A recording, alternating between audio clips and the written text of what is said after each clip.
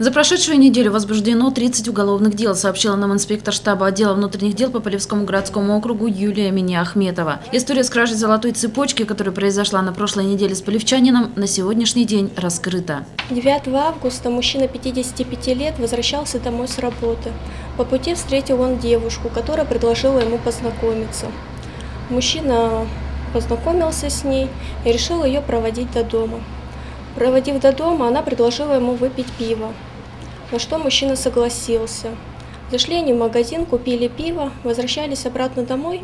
Девушка увидела по пути молодого человека, который вез в коляске детей. Она сказала, что это дети ее, и что она сейчас их отведет домой и вернется.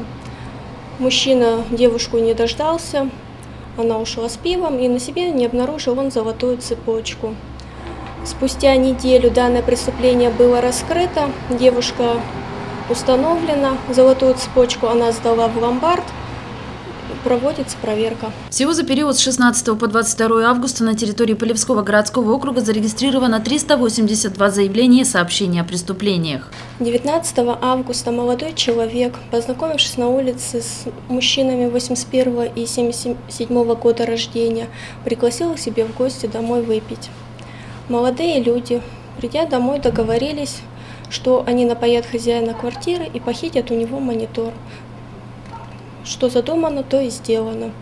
Проснувшись, молод... Э, мужчина, не обнаружив монитор, позвонил в милицию.